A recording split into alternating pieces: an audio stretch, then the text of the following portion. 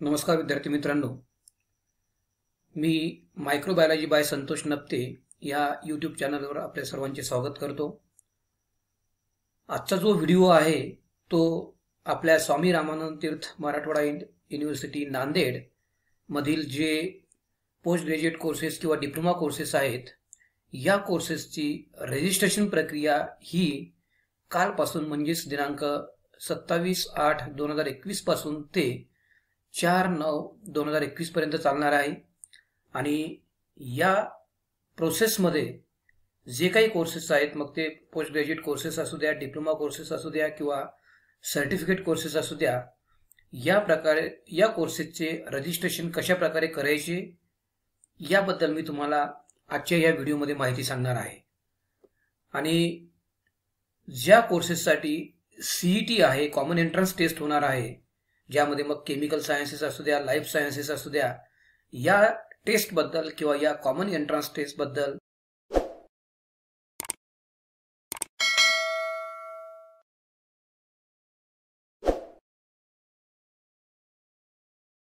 मी थोडक्यात माहिती आपणास आजच्या या व्हिडिओमध्ये सांगणार आहे.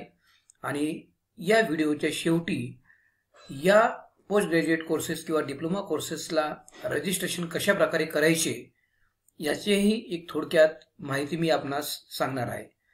तरी विद्यार्थी मित्रांनो आपल्या या सर्व माहितीसाठी म्हणजे रजिस्ट्रेशन प्रोसेसपासून ते मेरिट लिस्ट लागेपर्यंत आणि पुढे स्पॉट ॲडमिशन्सपर्यंत जर आपल्याला पूर्ण माहिती हवी असेल तर या यूट्यूब चॅनलला सबस्क्राईब करा आणि तसेच आपले मित्र किंवा फ्रेंड्स किंवा जे कोणी विद्यार्थी वगैरे असतील या सगळ्यांना हा व्हिडिओ शेअर करा जेणेकरून या रजिस्ट्रेशन प्रोसेसबद्दल त्यांनाही माहिती होऊन जाईल.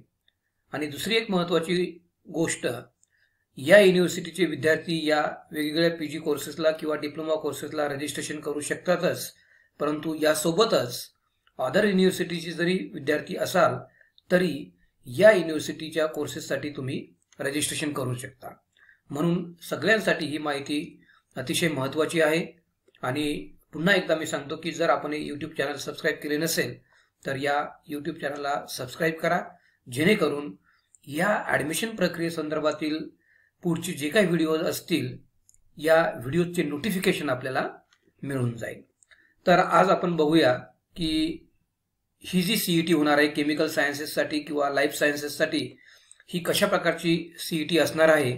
आणि त्यानंतर आपण बघूयात की रजिस्ट्रेशन प्रोसेस किंवा रजिस्ट्रेशन या कोर्सेसला कशा प्रकारे करायचे? तर विद्यार्थी मित्रांनो आता आपण या केमिकल सायन्सेस आणि लाईफ सायन्सेसच्या कॉमन एंट्रन्स टेस्टबद्दल किंवा सीईटी टीबद्दल डिटेल माहिती पाहूयात. आणि त्यानंतर या कोर्सेसला रजिस्ट्रेशन कशा प्रकारे करायचे याबद्दल एक थोडक्यात माहिती मी आपणास सांगणार आहे. तरी हा व्हिडिओ आपण शेवटपर्यंत बघा व आपले जे कोणी मित्र वगैरे असतील त्या सर्वांना शेअर करा.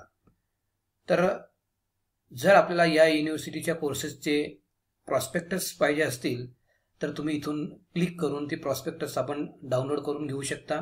आणि जे कोर्सेस मग ते सीई टी थ्रू ॲडमिशन्सचे असू द्या किंवा नॉन सीई टी प्रोग्राम्स असू द्या त्याच्याबद्दलची सर्व माहिती तुम्हाला या प्रॉस्पेक्टसमध्ये असणार आहे. तर इथे ही जे दोन मेन कोर्सेस आहेत लाईफ सायन्सेस आणि केमिकल सायन्सेस याबद्दलची माहिती मी आपणास सांगणार आहे.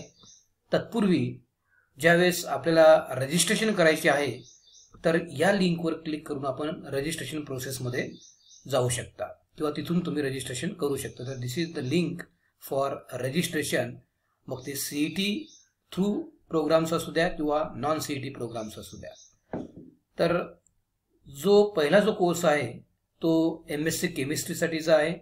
आणि या कोर्समध्ये जे स्पेशलायझेशन आहे एम एस सी केमिस्ट्रीमध्ये मग त्याच्यामध्ये अनालिटिकल केमिस्ट्री आहे इंडस्ट्रियल केमिस्ट्री आहे medicinal chemistry organic chemistry physical chemistry आणि पॉलिमर केमिस्ट्री आणि इथे जो कोर्स आहे तो दोन वर्षाचा आहे. हे आपल्या सर्वांना माहीतच आहे.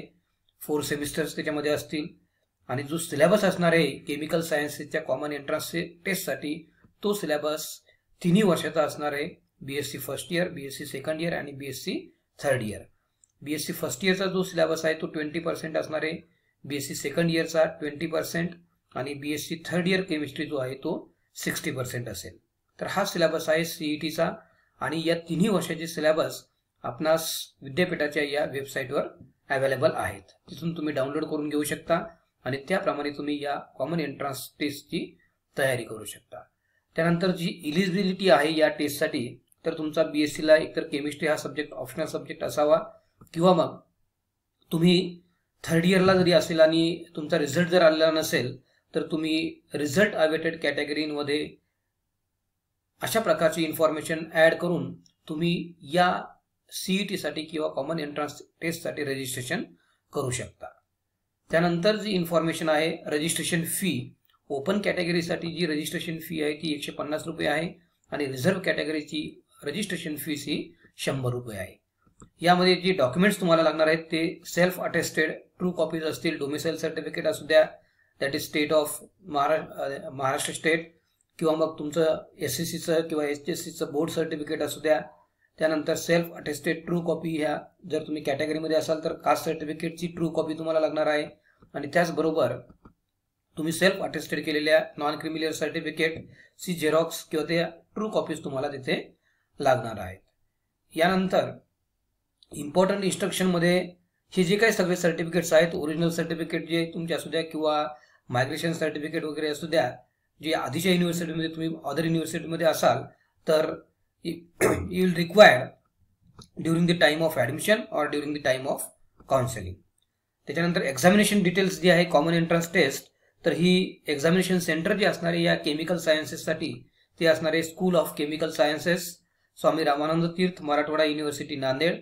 आणि मॉडेल ऑफ क्वेश्चन पेपर्स जे आहेत ते M S C केमिस्ट्रीचे common question papers for all specialization हे ऑलरेडी अवेलेबल आहेत कारण केमिस्ट्रीसाठी किंवा केमिकल सायन्सेसची एंट्रन्स ही आधीपासून होती परंतु यावर्षी इथे जी लाईफ सायन्सेसमध्ये काही कोर्सेस आहेत जसे की मायक्रोबायोलॉजी असू द्या किंवा P G D M L T असू द्या यासाठी एंट्रन्स टेस्ट ही या वर्षीपासून सुरू झालेली आहे.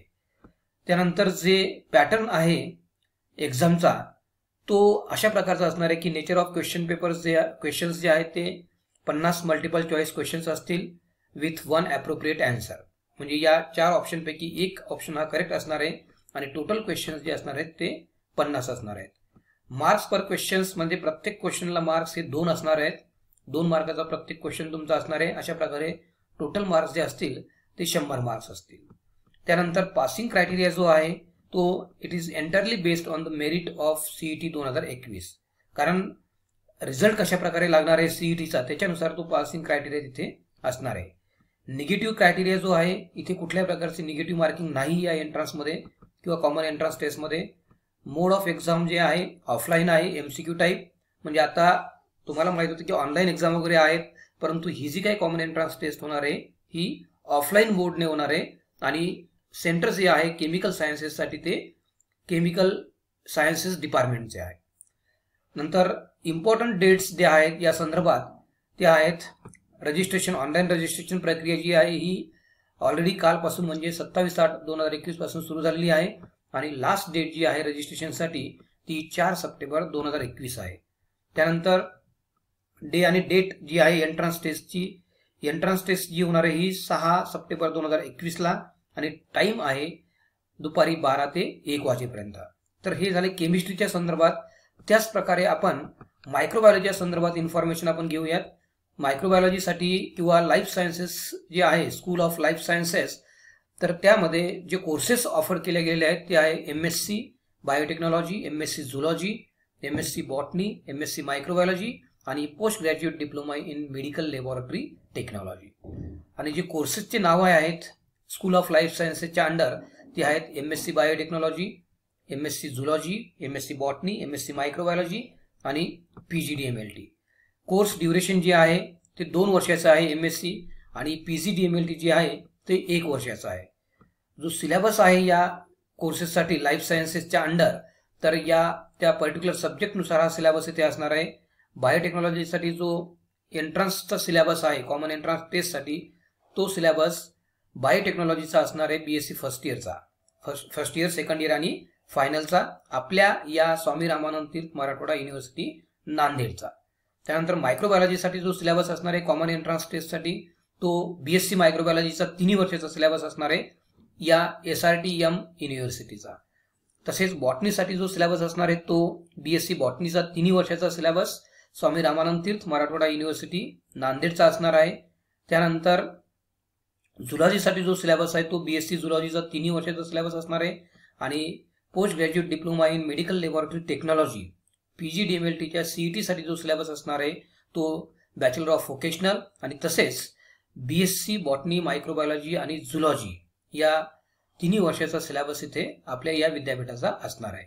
आणि हा सर्व सिलेबस आपणास विद्यापीठाच्या या वेबसाईटवर तिथे अवेलेबल आहे.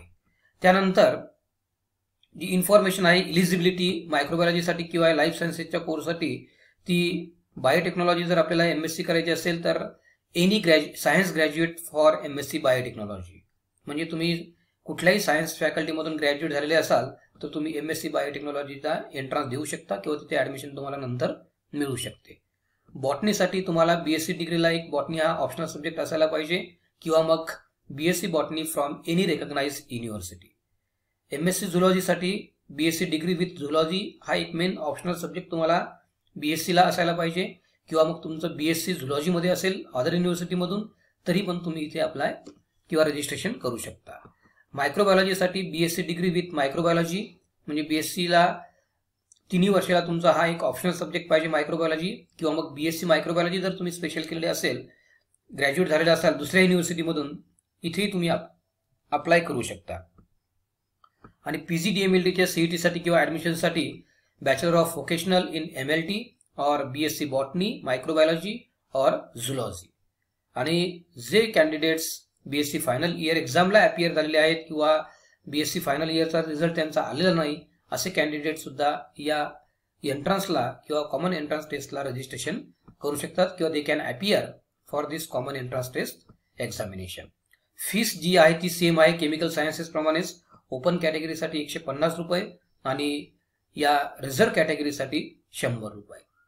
त्यानंतर रिक्वायर्ड डॉक्युमेंट सेम तुमचं बोर्ड सर्टिफिकेट सेल्फ अटेस्टेड असायला पाहिजे. त्यानंतर self attested true copy of caste certificate non creamy layer certificate आणि that should be ask during your admission process त्यानंतर इम्पॉर्टंट जे आहे ते ऑल ओरिजिनल सर्टिफिकेट जे आहेत मग कॉपी ऑफ मायग्रेशन सर्टिफिकेट असू द्या किंवा तुमचे बाकीचे सर्टिफिकेट्स असू द्या डॉक्युमेंट्स असू द्या हे सगळे डॉक्युमेंट्स तुम्हाला ज्यावेळेस तुमची ॲडमिशन प्रोसेस सुरू होईल किंवा काउन्सिलिंग प्रोसेस असेल त्यावेळेस हे सगळे डॉक्युमेंट्स ओरिजिनल डॉक्युमेंट्स तुमच्यासोबत रेडी ठेवा.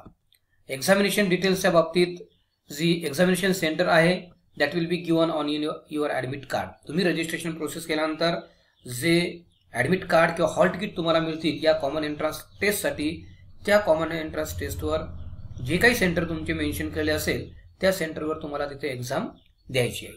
केमिकल सायन्सेसच्या बाबतीत जी एंट्रन्स किंवा सीईटी होणार आहे ती केमिकल सायन्सेसमध्ये होणार आहे. स्कूल ऑफ केमिकल सायन्सेसमध्ये पण या लाईफ सायन्सेसच्या बाबतीत तुमच्या हॉल तिकीटवर ते सेंटर दिलेले असेल त्याप्रमाणे आपल्याला ती एक्झाम तिथे अटेंड करायची आहे. मॉडेल ऑफ क्वेश्चन पेपर्स जे आहे तो प्रत्येक विषयासाठी सेपरेट क्वेश्चन पेपर असेल मग ते बायोटेक्नॉलॉजी असू द्या बॉटनी असू द्या मायक्रोबायोलॉजी असू द्या किंवा P G D M L T असू द्या किंवा झुलॉजी असू द्या. जो पॅटर्न जो आहे किंवा एक्झामचं जे पॅटर्न आहे सीई टीचा या लाईफ सायन्सेससाठी तर इथेही पन्नास मल्टिपल चॉईस क्वेश्चन तुम्हाला असतील आणि त्याच्यामध्ये चार ऑप्शनपैकी एक हा करेक्ट ऑप्शन असेल. प्रत्येक क्वेश्चन हा दोन मार्कासाठी असेल आणि टोटल मार्क अशा प्रकारे शंभर असतील. पासिंग क्रायटेरिया जो आहे तो पुन्हा त्या मेरिट लिस्टवर डिपेंड असणार आहे किंवा मेरिट रँकवर डिपेंड असणार आहे या सीईटी दोन हजार एकवीसच्या. निगेटिव्ह क्रायटेरिया जो आहे तो इथेही या कॉमन एंट्रन्स टेस्टमध्ये सुद्धा निगेटिव्ह मार्किंग नाही. म्हणजे तुमचा एखादं आन्सर चुकलेलं जरी असेल तरी तुमचं मार्क्स तिथे निगेटिव्ह किंवा मायनस होणार नाहीत. मोड ऑफ एक्झाम जे आहे ते ऑफलाईन आहे. इथेही सुद्धा तुम्हाला ऑफलाईन एक्झाम अटेंड करायची आहे त्या पर्टिक्युलर सेंटरला जाऊन आणि admission will be as per university rules M C Q type exam आहे. ऑफलाईन एक्झाम तुम्हाला अटेंड करायची आहे. आणि इम्पॉर्टंट डेट्स ज्या आहेत त्या ऑलरेडी रजिस्ट्रेशन प्रोसेस ही कॉलपासून म्हणजेच सत्तावीस आठ दोन हजार एकवीसपासून सुरू झालेली आहे. आणि लास्ट डेट जी आहे रजिस्ट्रेशनची ती चार सप्टेंबर दोन हजार एकवीस आहे. त्यानंतर टायमिंग जे आहे डे आणि date of entrance test for this courses under school of life sciences ही प्रत्येकासाठी सेपरेट टाईम आहे. डेट एकच आहे. सहा सप्टेंबर दोन हजार एकवीस. पण टाईम हा वेगवेगळा आहे. तर तो टाईम आहे बायोटेक्नॉलॉजीसाठी सकाळी साडेदहा ते साडे अकरापर्यंत झुलॉजीसाठी दुपारी तीन ते चार वाजेपर्यंत मायक्रोबायोलॉजीसाठी दुपारी दीड वाजतापासून अडीच वाजेपर्यंत बॉटनीसाठी दुपारी बारा ते एक वाजेपर्यंत आणि P G D M L T C E टीचा टाईम आहे दुपारी साडेचार ते साडेपाचपर्यंत तर अशा प्रकारे या दोन्ही एंट्रन्सबद्दल आपण माहिती घेतलेली आहे. ही important information commencement of admission किंवा रजिस्ट्रेशन प्रोसेस सत्तावीस ऑगस्ट दोन हजार एकवीसपासून ऑलरेडी सुरू झालेली आहे. आणि लास्ट डेट जी आहे सबमिशन ऑफ ॲप्लिकेशन ती आहे चार सप्टेंबर दोन हजार एकवीस. तर this is the admission schedule for campus schools as well as sub campus and that is for first semester आणि रजिस्ट्रेशन फीज ऑलरेडी मी सांगितलेली आहे. सीईटीसाठी जी रजिस्ट्रेशन फी आहे ती ओपन कॅटेगरीसाठी एकशे पन्नास रुपये आणि रिझर्व्ह कॅटेगरीसाठी शंभर रुपये. तसेच नॉन सीईटी कोर्सेससाठी सुद्धा ओपन कॅटेगरीसाठी जी रजिस्ट्रेशन फीस आहे ती दोनशे रुपये आहे आणि रिझर्व्ह कॅटेगरीसाठी जी फीस आहे ती एकशे पन्नास रुपये आहे. म्हणजे नॉन सीईटीची फीस इथे थोडं जास्त आहे as compare to CET courses यानंतर मित्रांनो रजिस्ट्रेशन कशा प्रकारे करायचे? तर सुरुवातीला इथे एक लिंक मी तुम्हाला सांगितलेली आहे की ज्यावेळेस तुम्हाला रजिस्ट्रेशन करायचे त्यावेळेस या लिंकवर आपल्याला क्लिक करावे लागेल. ही जी लिंक आहे रजिस्ट्रेशनसाठी दिलेली इथे तुम्ही क्लिक केल्यानंतर तुम्हाला काही इन्फॉर्मेशन तिथे विचारल्या जाईल आणि या इन्फॉर्मेशन किंवा या याच्यामध्ये तुम्ही माहिती भरल्यानंतर तुमची जी काय पुढची प्रक्रिया आहे ती लॉग इन तुम्ही करू शकता. तुम्हाला पासवर्ड मिळेल आणि लॉग इन आय डी सुद्धा मिळेल. तर इथे पूर्ण इन्फॉर्मेशन दिलेली आहे. एक महत्वाची सूचना इथे तिने दिलेली आहे की admission to the courses at new model degree college Hingoli sub campus Parbhani and other courses at sub centre Latur. You have to contact to that respective college sub centre और सब कॅम्पस म्हणजे जर तुम्हाला model degree college हिंगोलीला sub campus परभणीला किंवा sub centre लातूरला जर admission वेगवेगळ्या कोर्सेसला घ्यायची असेल तर तुम्हाला तिथे जाऊन कॉन्टॅक्ट करावे लागेल. तर ह्या सगळ्या इन्स्ट्रक्शन्स तुम्ही त्या रजिस्ट्रेशन लिंकवर केल्यानंतर हे पेज ओपन होईल आणि इथे तुम्हाला सर्व इन्स्ट्रक्शन्स तिथे मिळणार आहेत. तर यामध्ये जे डॉक्युमेंट्स तुम्हाला लागणार आहेत तिथे रिसेंट फोटोग्राफ तुमचं बारावीचं marksheet then copies of year wise marksheet तर ही सगळी इन्फॉर्मेशन किंवा डॉक्युमेंट्स तुमच्या जवळ असायला पाहिजे. Caste certificate caste validity certificate non creamy layer त्याच्यानंतर फिजिकली हँडिकॅपचं सर्टिफिकेट असेल तर ते आणि certificate of ward of ex serviceman तर हे सगळे डॉक्युमेंट्स आपल्या जवळ तिथे ठेवा. आणि रजिस्ट्रेशन फीस जी आहे ती नॉन सी टी प्रोग्रामची दोनशे आणि ओपन कॅटेगरीसाठी आणि एकशे पन्नास ही रिझर्व्ह कॅटेगरीसाठी आहे. तर याप्रमाणे ही इन्फॉर्मेशन मी ऑलरेडी सांगितलेली आहे.